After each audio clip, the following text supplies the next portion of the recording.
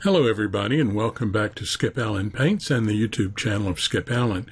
This is video 9 in a series of videos about how I set up my Wacom Cintiq to work with Corel Painter 2015. Okay, so we've talked about just about everything except for touch, and we'll get to that uh, during this video, I believe. And also, we're going to talk mainly, though, about the radial menu. Now, the radial menu in my way of thinking, is the most powerful part of the Wacom tablet properties, and it's the most underused part as well. Um, there, there's this this little thing allows you to have so many commands at your fingertips that you can you can program almost every command that you can uh, imagine inside of this program and have room to spare. But let's take a look at it. We're looking at the Wacom tablet properties, and on the left-hand side, you have top, which is the beginning of the menu system. And this menu system will build as you add things to uh, the radial menu. On this side, we have functions, and this looks just like or very similar to express keys. If we wanted to do a keystroke, we could click on keystroke, put in the keystroke, we could clear it or delete it. We can put the name of what this function is and say OK, and we've programmed it to a particular place. Now, I think this is the default setting that the Cintiq was set to, and I believe these are mostly uh, Photoshop commands. Okay, so how would I suggest setting this thing up so that it works? When I first started making a using the radial menu, I would just put in commands willy nilly, and then I couldn't remember where the commands were. Uh, before I get into that, I just realized that I probably should first say that using this, we've got eight potential commands that we can put in. Well, eight commands is not much, right? Uh, and you and I told you that you could do many. Well, here's the way it works. If you click on brush panel or any one of these, you see that when it when you click on it, this little line indicates that it's active. Let's go back to brush stroke. I can come here and change that to submenu.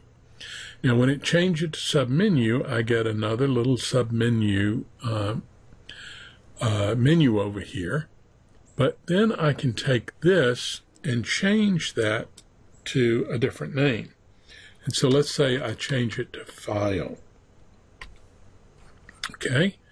Now, once I change it to file, it changes over here in the submenu. If I select file, then what I now see are eight more um,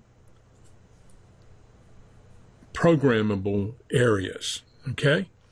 So, what I'm saying is that you can take this thing and make multiple layers going, making multiple commands in sort of a hierarchy uh, setup. I'm trying to think of the way to describe it, and I really can't.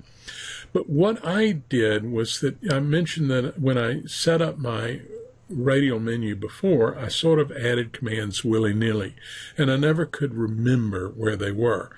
So I finally hit on the idea that after you've been using any software for a while, you pretty much know what your menu system is up here, and you have to go up here and click on File and then New to bring up, say, a new document. So if I worked my radial menu based on the menu system, that would be the best way to work it. So if I name my first uh, block file, then what I want to do is put in commands that are from the file menu. Now I have 1, 2, 3, 4, 5, 6, 7, 8, 9, 10, 11, 12, 13 commands and only 8 spots. So I have to make some decisions here.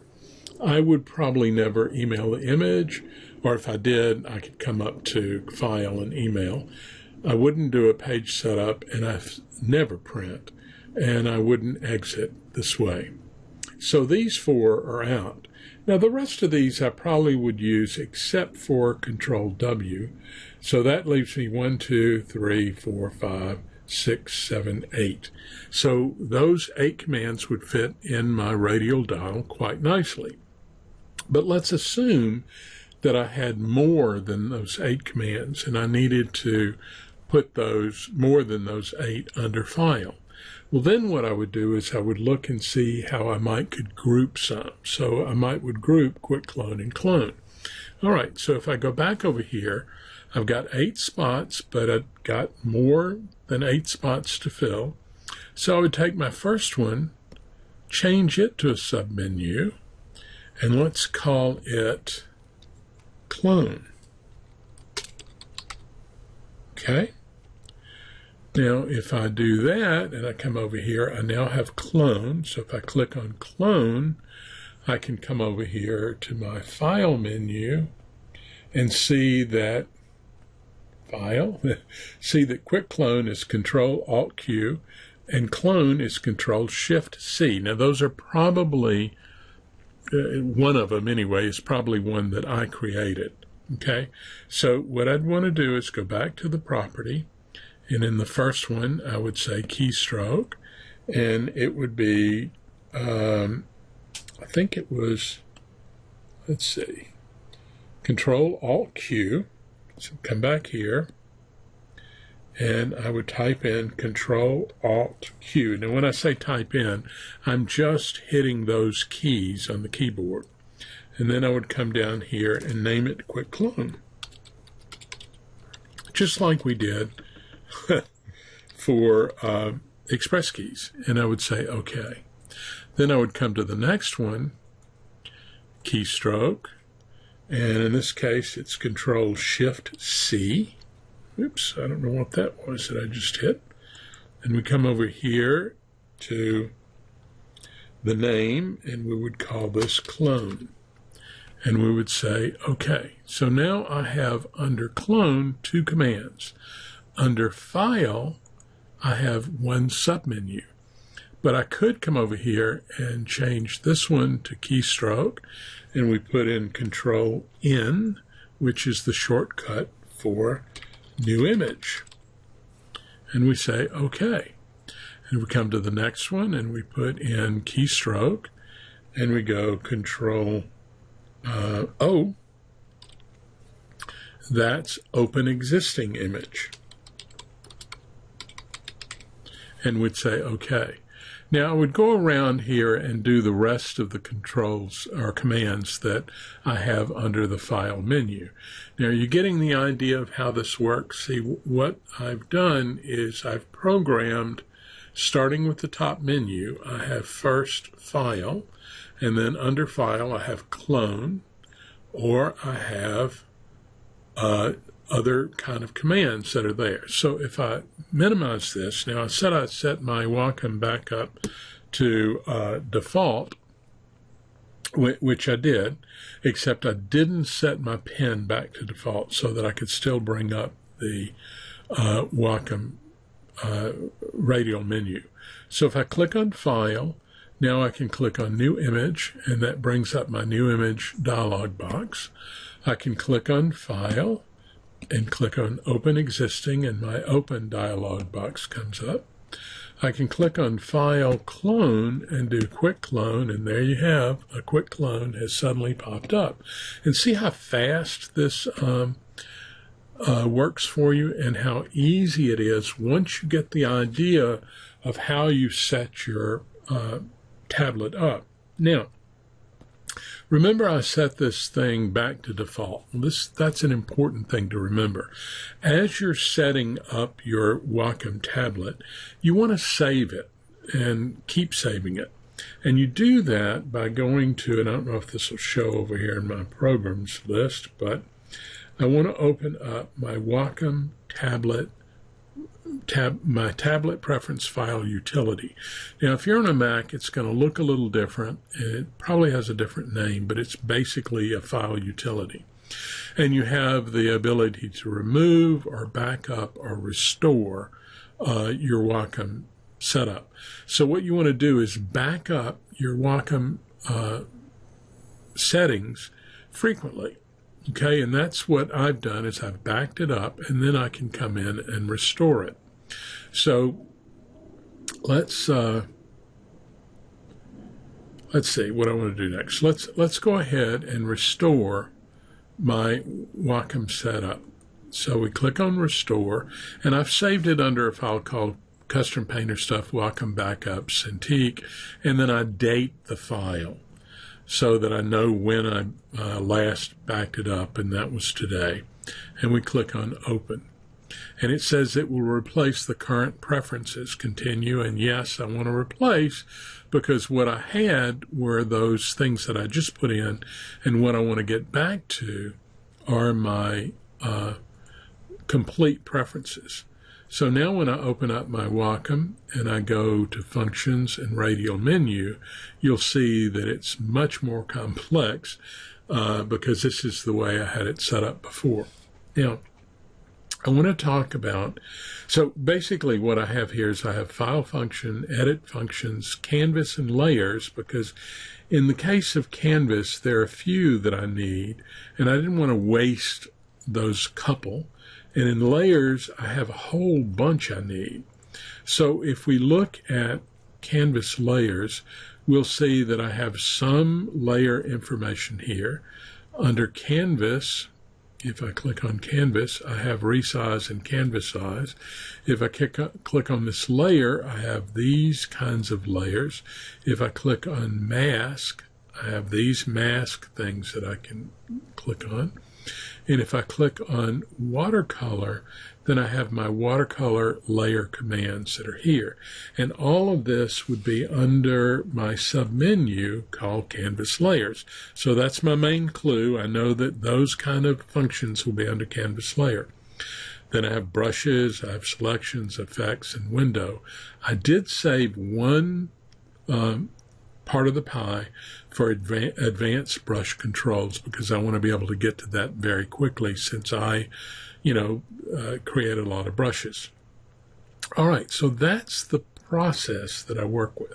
Now let's go to touch for a second because this is very important. With touch, you do want to have enable touch input if you're working with a touch device. If you don't like to work with touch, then just uncheck that and you won't have to worry with using it. But you want to click on Enable Touch and then use Wacom gestures if you're planning on using these Wacom gestures. But here's another thing to think about. The gestures, if you come up to Edit, Preferences, or in the case of the Mac, uh, Corel Painter 2015 Preferences, and you go to Tablet, you'll see that you have tablet options. And Wacom compatible device is required. So you click on that, since I have the Cintiq, and then multi-touch options. If you enable multi-touch, that will reduce Painter to using only the touch options that are written into Painter. And they, they took the Wacom uh, touch properties not all of them, but some of them, and they made them better. Okay, they they made like the zoom real smooth and and so forth. Uh, so if you enable multi-touch, you will not be able to get to the gestures. Now, if you don't enable multi-touch, then the the touch functions inside of Painter will not be utilized, but the gesture functions that you have here in my gestures will be utilized. So right now I've got the radial menu by clicking down three fingers and that would bring up the radial menu. If I have my Wacom set up, I mean my painter set up for enable multi-touch, that won't happen. Except, and this is important because I, I think I need to make sure you understand this. When I reset my Wacom tablet, it reset almost everything. So if I click with three fingers now, I'm bringing up the um, the touch functions. And if I were to try to use the zoom, that's not going to work. I'm, I'm getting the painter things. What all that is telling you is that once you go back and restore your settings, you need to close Painter and reopen it. Okay. And you want to do that because it gives it an opportunity to reset the preferences. And so once I reopen Painter, and let's say we close this, and I'll go in here and I'll go to File Functions, New Document, and I want that document that we normally have, and I'll bring that open like this.